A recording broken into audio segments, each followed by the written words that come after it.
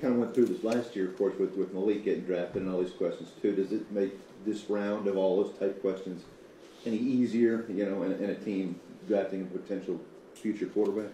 Yeah, we've, we've been down this road uh, before, so it's definitely uh, a little bit of deja vu. We're competing against each other. We're uh, you know watching the same tape. We're, we're doing the same drills. I don't think it's my job to mentor him, but like I said, Mike and Ran make those decisions. My job is to go out and, and try to win football games.